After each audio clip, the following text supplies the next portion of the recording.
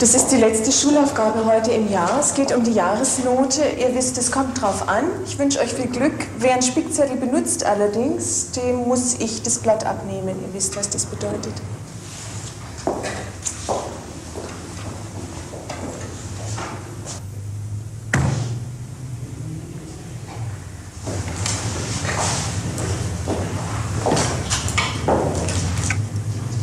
Tipp Nummer 1. Der Linealtrick.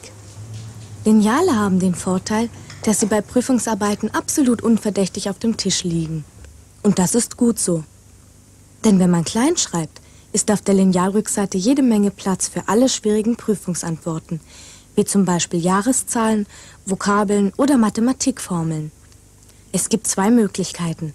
Entweder ihr schreibt direkt auf das Holz oder auf ein Stück Papier, das man, wie hier, auf die Rückseite des Lineals klebt. Wenn ihr geschickt seid, ist das Ganze ein äußerst unauffälliger Schummelhelfer.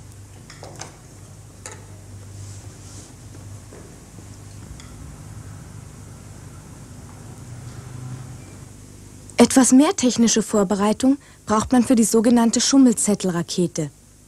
Auf einem zurechtgeschnittenen festen Stück Karton werden Formeln und Stichworte für die Arbeit notiert.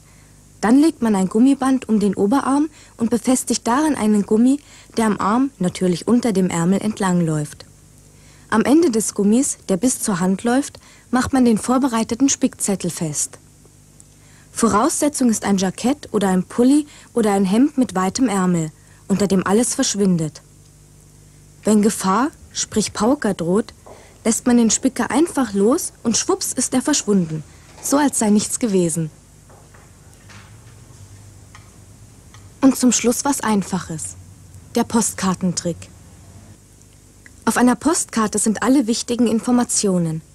Alles, was ihr jetzt noch braucht, ist ein Reißnagel, mit dem man die Postkarte unter dem Tisch befestigt.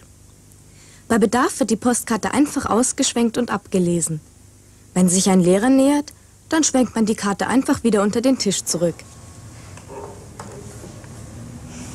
Na, habt